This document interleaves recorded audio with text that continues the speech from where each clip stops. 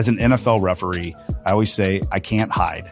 So I can't go out there on Sunday and hope that nobody sees my calls. There's like, you know, 70,000 people in the stands, 7 million watching on TV, and a billion others on Twitter commenting on everything.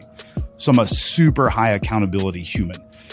And this is to me the root cause of sales purgatory is that people allow it to happen. They're the answer. Everyone wants to go external and blame, well, customers don't get back to me, or they don't do this, or they won't commit, or their buying process is jacked up, or whatever. It, the, the main cause is that you allow this to continue and not in a mean, bad way. You, people just haven't decided, I'm not going to play sales purgatory anymore. When that light switch goes off in your head, you go, hmm, you know what? I'm done. No more sales purgatory for me. I'm Devin Reed. And I'm Sheena Badani. And you're watching Reveal, the revenue intelligence podcast powered by Gong. Keep watching here to see the full interview. Or if you like to listen to podcasts on the go, check out the links in the description below. And if you like what you hear, subscribe on YouTube, Apple Podcasts, or Spotify, or all of them. Why not? And while you're there, make sure to leave us a five star review. We personally read every single one, and I think I speak for both of us when I say they mean the world to us. Could not agree more, Devin. Now, without further ado, here's the episode you've been waiting for. So, Bryan, it is common for salespeople to also be sports fanatics. yes. It is very rare that a salesperson is actually in sports. And you Agreed. are a professional NFL referee which tells me that you just love being berated because salespeople deal with constant rejection and referees are constantly being yelled at. So, what, what why did you pick this career path? Yeah. So thanks, Devin. And uh, first, I'm really glad to be here. And uh, I didn't know this is a therapy session. So, doctor, uh, there's clearly something in my uh, yeah my psychological makeup from being a kid that loves either lots of pressure or loves to be critiqued or criticized or whatever. Um, I, am telling you, I love my jobs so much. I love selling. I love sales coaching and I love ref and football. As weird as that sounds. My little phrase is, uh, and I tell this to my sales clients when they're yelling and they're really mad at me, I say they're yelling at my shirt. They're not yelling at me. I'm still protected on the inside. I'm good. have but you, great. Have you ever refereed a Raiders game in the last 10 years?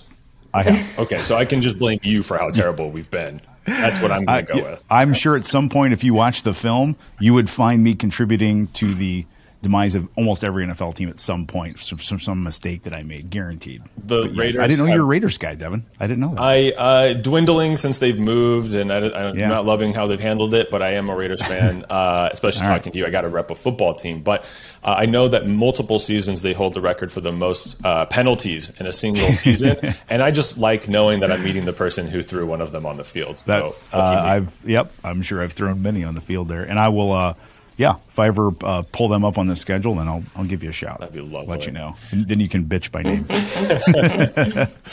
Perfect. So uh, we, we've covered uh, one of your jobs, NFL. Yeah. The other one is you're the founder of Blind Zebra. So folks who might not know what that is, would you mind breaking that down for us and what you guys focus on? Yeah, I would love to. So we've been um, in the current mode of Blind Zebra for the past eight years, uh, doing sales training and sales coaching for B2B sales teams. We have traditionally been a high touch, um, uh, high integrated uh, sales coaching group. So we keep a small number of clients on purpose, go really deep, almost like we work there, and really partner with their VP of sales, CRO, CEO to implement sales strategy, uh, uh, uh, process, thinking, action, all this stuff. Uh, COVID is actually, and I sometimes I hate saying this, just because a lot of people have suffered a lot. It's been the best thing that happened to our business because salespeople have learned. And I know a lot of us wish we hadn't learned to do all of our meetings on Zoom.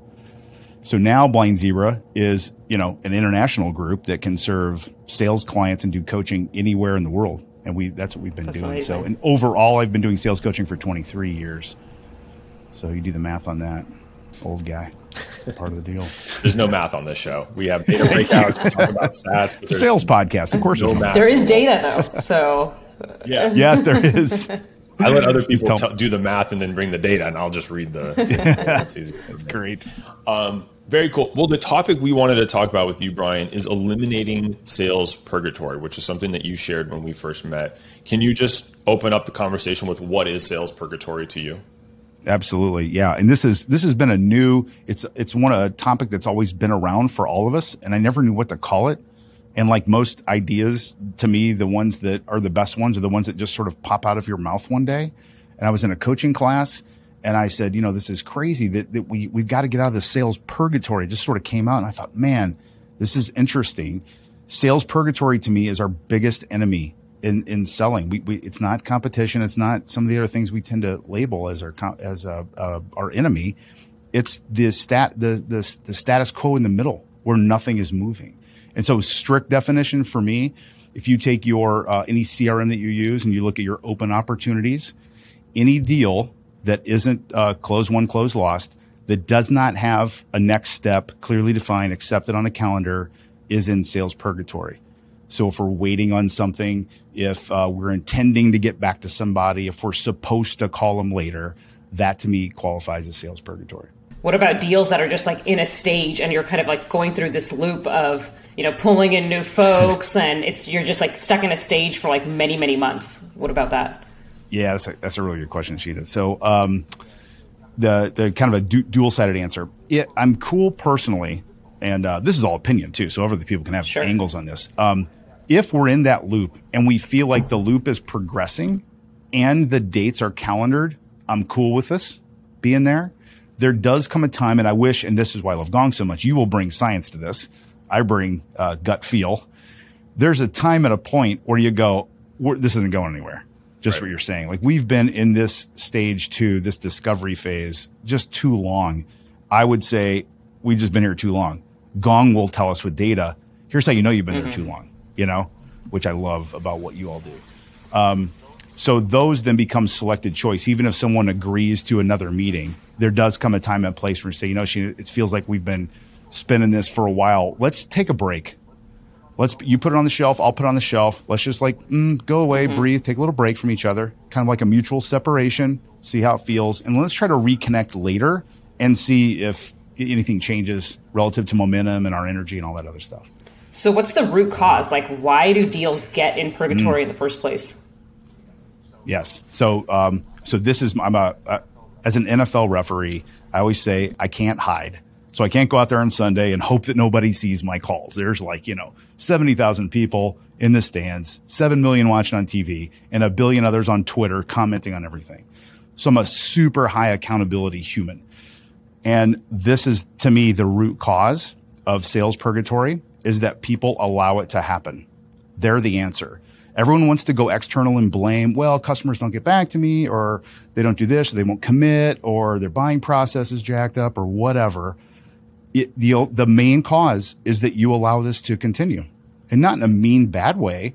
You, people just haven't decided, I'm not going to play sales purgatory anymore. When that light switch goes off in your head, you go, hmm, hopefully people listen to this and they go, you know what? I'm done. No more sales purgatory for me. Then I can teach people specific tools on how to, you know, avoid it or fix it when you're in there.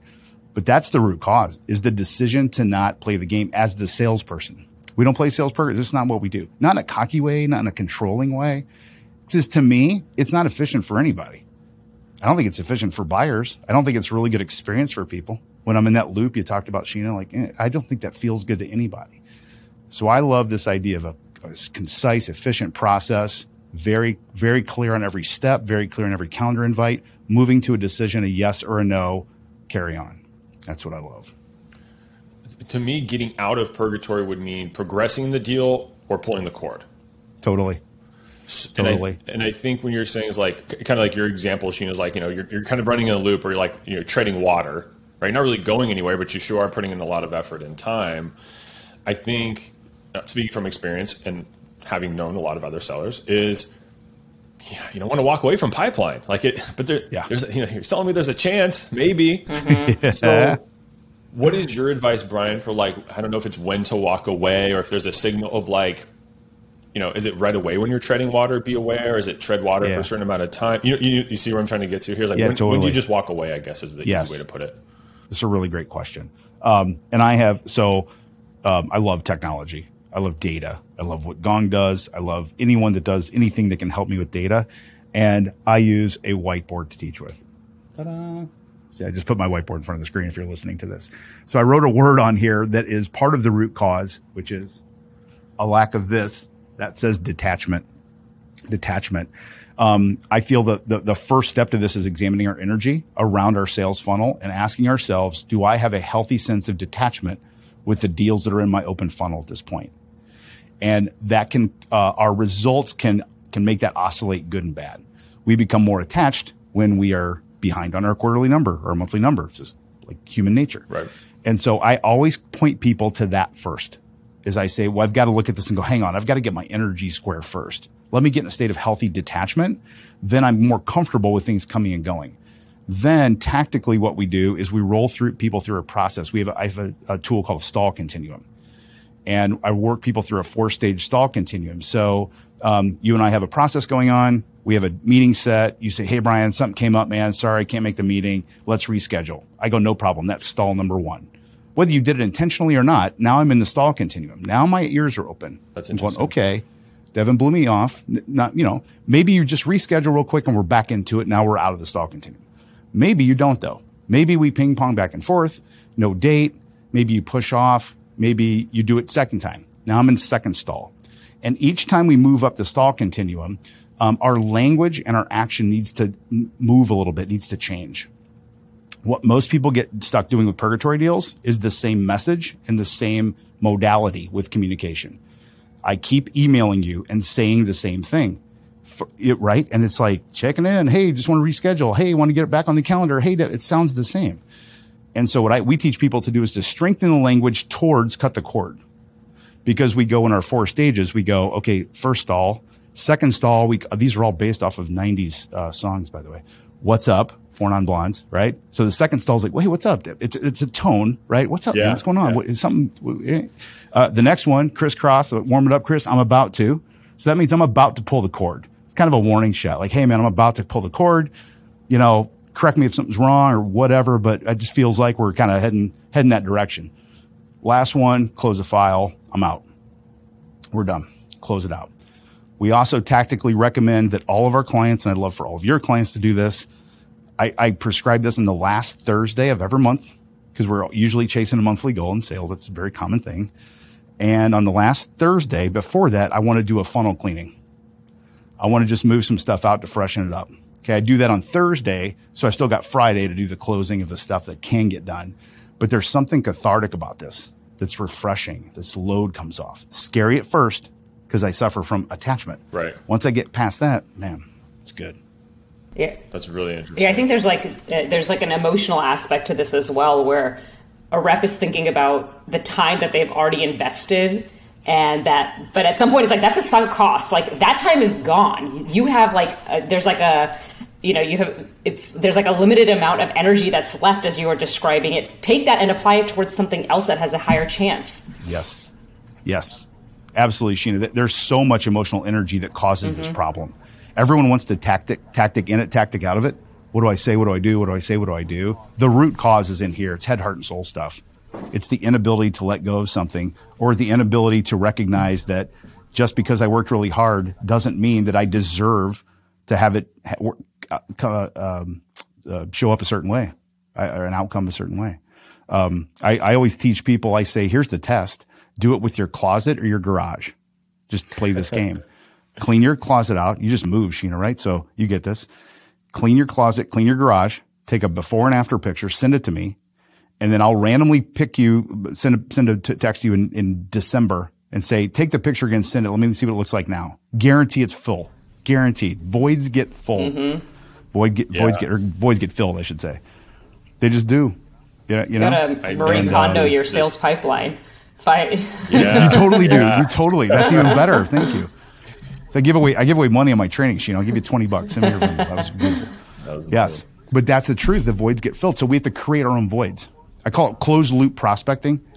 People work the same deals over and over. You got to break those out. You got to pull some out. Let them go. You know, take pressure off of them too. They feel it, even though they're not responding. They feel it. Yeah. Yeah. I got one of those. I got a message this morning from a guy chasing. I'm like, yeah. We got uh, similar advice from Marcus Chan, Sheena, if you remember. He did the same thing. He was talking about how to get a, I think it was how to get a deal unstuck. And he was saying, what happens is, uh, this might be my wording, but it's like it feels like someone's just tapping you on the shoulder. So you know, if someone yeah. comes up, you know, from the side or behind, like you know, that nice double click, like, oh, what's up? Yeah. What's going on, right? Yeah. But if you ignore that and you get the double double click, you're kind of like, eh, I'm kind of like not feeling this, and then the like repetitive, like, hey, I need your attention. Then you turn around, and you're like, what the do you need? Right? And you get super upset. And it's the same thing with with prospects, like you're saying. If you just email, hey, can we reschedule? Email, hey, can we reschedule? Hey, we're doing this thing it conditions your buyer that this is a low value communication outlet and you're also limiting yourself to that one channel or i think you called it yeah. modality modality yeah so what are some tactics folks can use to expand on that right like i don't know yeah text obviously calling is, is not yes. new but like what do, what do you coach bryan to get out of that single single lane yes excellent question the first bit of coaching so the, the phrase i use and your listeners can can hang on this phrase change the channel, change the message. The channel's the modality that t- change the channel, change the message. So I want that to resonate in people's heads when I'm stuck. Okay. I got to change the channel, change the message. So let's go channel changes first. Um, any and all to me are available as long as your intentions are good and pure. So if my intentions are good and pure, if I'm selling for Gong and I believe Gong can help a CRO, you know, be a better coach and mentor and leader and everything else, then I'm going to call her as much as I can because I feel good about it. Um, and then I can, so if that's clean, I'm clean there, then any of the modalities work. And Devin, you mentioned a few. Text, absolutely. If someone gives you their cell phone number, to me, that's permission to text them. Some people disagree with that. I mean, if it's on their business card or if it's your mobile phone. Yeah. Now, some people are like, oh, that's kind of creepy or whatever. But you know, we're in, we've talked already. And if they don't like me to text them, they say, please don't ever text me again. no problem. I won't. Okay. Um, uh, any sort of, um, uh, social media, you know, direct reach. So LinkedIn, if I can go direct there. Some of my clients now, this is a you know a debatable one. Some of my clients will go direct on other um, uh, social medias. So they might uh, the person now from a business standpoint, the person has a business Facebook page or something like that. Maybe try an angle there. But I'm always trying to move around if I can. Um, phone call, voicemail, non voicemail, all those sorts of things. Um, I'm just constantly fluid with the with the channel. So, for managers who are inspecting their team's pipeline, what questions should they be asking to figure out whether deals are in purgatory or not? That's brilliant. Um, my favorite thing here, and I love the word inspecting. This is a great word, isn't it? because they should be doing. They should be inspecting, like looking over it. Um, so this is called. I call this the green check rule. This is the green check rule, and what that means is if I have an open opportunity, and I'm calling on Devin and Sheena, and we have uh, a next step that in my calendar on my phone, if I showed it to you right now, there would be a green check next to the invitation that I have, and we have a scheduled date on whatever date, you know, Tuesday, June 23rd, a Zoom from noon to 12:30 to talk about the alternatives document that I already sent you. Super clear, green checked. So the first thing you can do is audit for we call those clear future dates, CFDs for short. You audit for clear future dates. It's got to have a green check. Um, what can't happen, and this is what happens. Managers inspecting. She's looking over, you know, the pipeline and says, uh, Hey, Devin, how are we with the blind zebra thing? Oh, really good, Sheena. We're good. Yeah, we're supposed to talk, uh, uh, early next week. Hear all that language, that qualifying language? We're supposed to talk early next week. What does that mean? Where there's no clarity in that. So then I start to go, what is supposed to mean? Then I go, when is early next week, by the way? When does that start? Is that Sunday night? Is that Monday morning? Is it Wednesday at noon? See, there's no clarity. We have to have clarity and mm-hmm. certainty mm-hmm. in these in, in our process to stay out of purgatory. So I would, and you're not trying to be a jerk. You're not trying to be like a micromanager. You're trying to help the team. And the way to help the team is to hold them accountable to the green check. That's when it counts, you know, and it's not perfect. Not everyone's, we, you know, me included. We, I, I sell, I, I sell first, coach second, and I have them, right? Where you, something slips you, but you're constantly chasing the green check. That's what you're doing. It sounds like in that response, there's like some advice for reps too on be specific. First of all, know your book. You know, yes. be detail oriented and be specific in your answers. Don't be vague. Always. All these qualify, and I'm from the Midwest, so we do lots of qualifying words. Hey, would it be okay if maybe possibly we could perhaps mate might, we do that all the time in the Midwest. I'm sure in other places they do too, but um, I like to try to remove those what I call Midwestern qualifiers.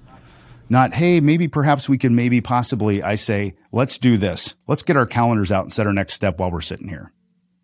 This other little thing too, and I don't know, Sheena, what if you're, can you give your phone? Yes, I do. Nearby, yeah. Sheena? Okay. So I don't like sales trickery, eh, but I'm telling you, if, so we're on a, vis, a visual, like a Zoomish thing. If you want to set a clear future date with a prospect and stay out of purgatory, that's what we're talking about. You grab your phone and you wave it like I just did to the camera, and I say, Sheena, do you have your phone? Sheena will. She just grabbed hers and waved it back to me, didn't she, Devin? Right? Everybody does that. And so all we're doing in the spirit of clarity and efficiency is that I'm just going to look at my calendar and saying, hey, you know, great chat today. I'll be able to send some stuff. Or can you grab your take a look at your calendar if you could? I'm looking at mine. I look at mine, and it's just non-optional. This is That's what we so do. Good. And I say, okay, let's look at the date. So next Friday, you tell me fine, we need 20 minutes probably tops, maybe schedule 30. What next? You tell me next. And then she looks at hers.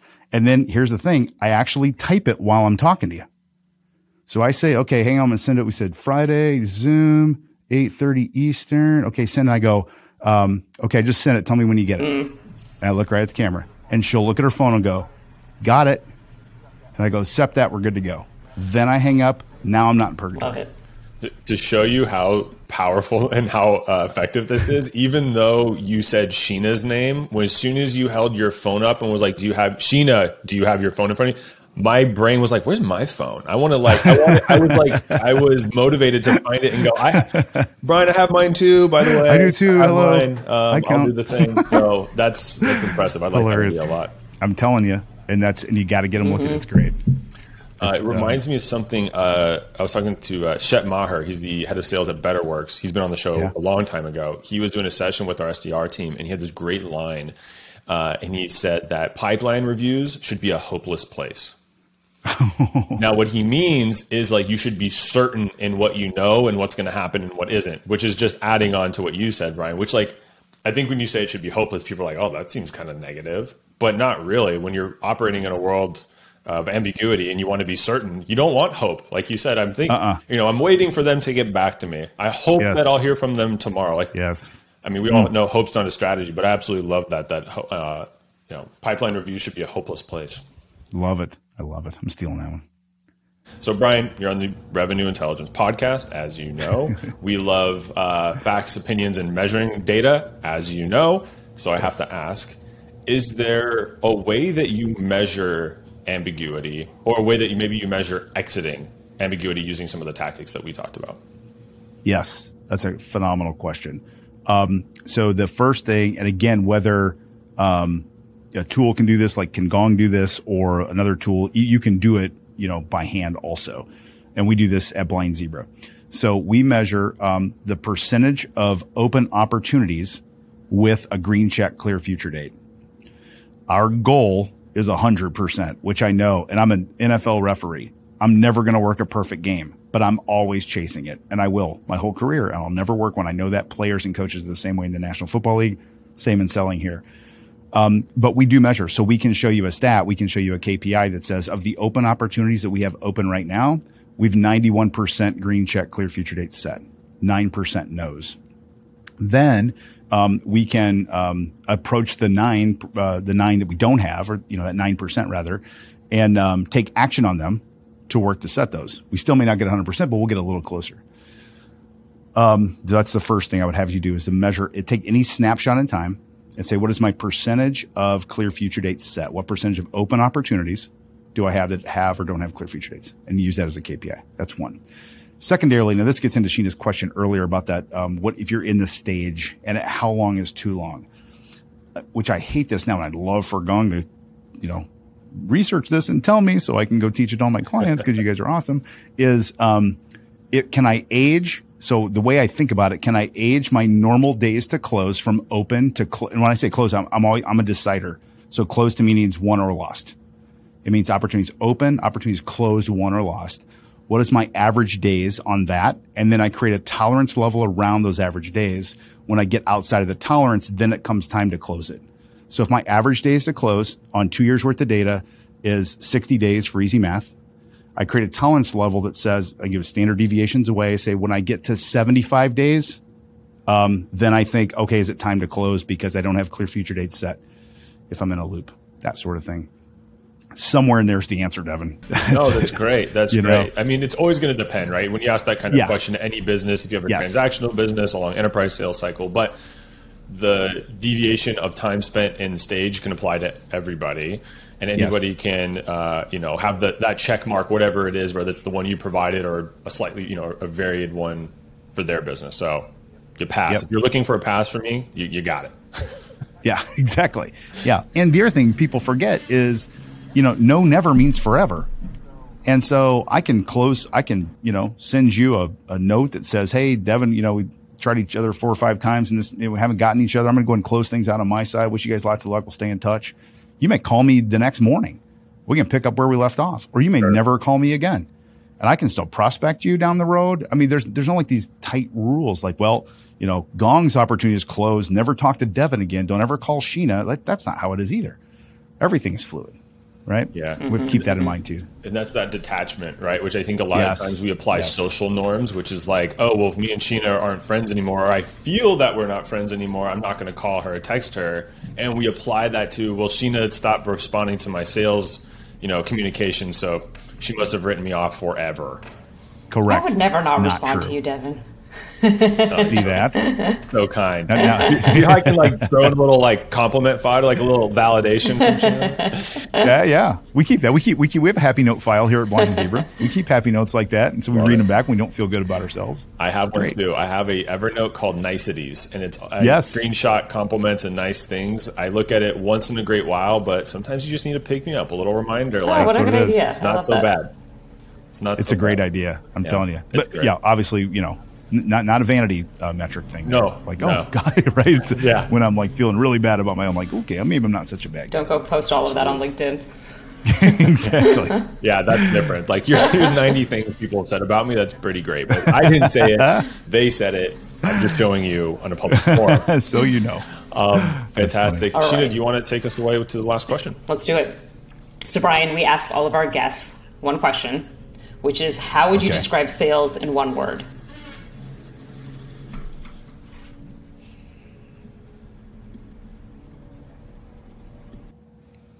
For those who cannot see Bryan, he has his eyes closed. He is in deep meditation, or I am. he's thinking. I am. I keep coming up with this word that is glorious. I don't know why. I've never thought of it. Never described mm-hmm. anything like that. It's just such a cool process. It, there's so much to it. It's just glorious. It, there's so much to it. There's human interaction. There's business. There is math a little bit every once in a while. There's problem solving. I mean, there's just such a glorious profession. It's fantastic. I love it. Profound. I love it. I love that. No one has said glorious yet. So it just kept, you know, close my eyes. You know, things. Yeah. It kept. I kept trying. Kept fighting it away, and it kept coming back. You were in like, a state. Right, here it comes out yeah, the mouth. Out the mouth we go. I love it. I love it. Bryan, I had a fantastic time hanging out with you today. Thanks for stopping Same. by the show. Uh, tons of takeaways, pages full of notes for listeners. So want to say thank you and excited to see you, hopefully before on TV, you know, on a Sunday morning. but uh, either way, thanks for stopping by. I really appreciate it. Stay in touch. You guys are awesome. Keep doing. You're doing great work for our profession. I can't say thanks enough to to Gong and all that you do. Um, thank you. And uh, just keep it up. And um, we love it. Thanks, Bryan. Appreciate you both. Woo.